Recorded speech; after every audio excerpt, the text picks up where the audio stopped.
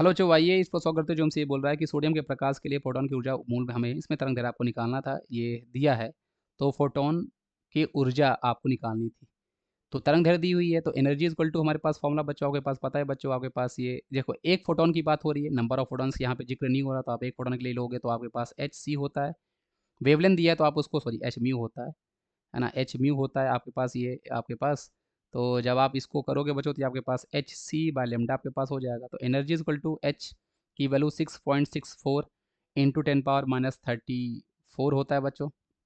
Into C three into ten power आपके पास बच्चों एट हो जाता है स्पीड ऑफ़ लाइट वैसे जब कभी भी जे में क्वेश्चन आएगा बच्चों तो ये जो कॉन्स्टेंट की वैल्यू है, ये आपको देता है। यहाँ पे नहीं दिया है, लेकिन बाय डिफ़ॉल्ट वो आपको देता ही है। आप उसमें कन्फ्यूज़ नहीं होगे। आप पी वाई क्यू क्वेश्चन चाहे आप जाके देख सकते हो, वहाँ पे वैल्यू दी होती है। लेमडा आपके पास बच्चों, उसने क्वेश्चन खुद ही मुझे बता रखा है five point eight six two into ten power minus sixteen मैं राउंड फिगर करके क्वेश्चन सॉल्व करूँगा बच्चों सिक्सटीन आपको ऊपर जाएगा तो ये चौबीस बनेगा, है ना? इसको मैं ऑलमोस्ट इक्वल टू छः लूँगा तो ये तीन से आपके पास बच्चों ऑलमोस्ट दो आ जाएगा।